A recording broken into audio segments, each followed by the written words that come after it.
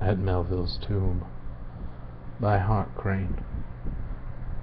Often beneath the wave, wide from this ledge, the dice of drowned men's bones he saw bequeathed in embassy.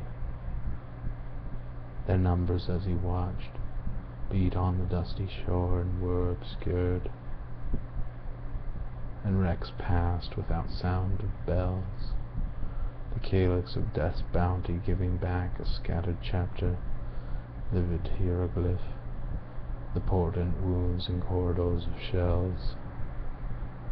Then in the circuit calm of one vast coil, its lashings charmed and malice reconciled, frosted eyes there were that lifted altars, and silent answers crept across the stars.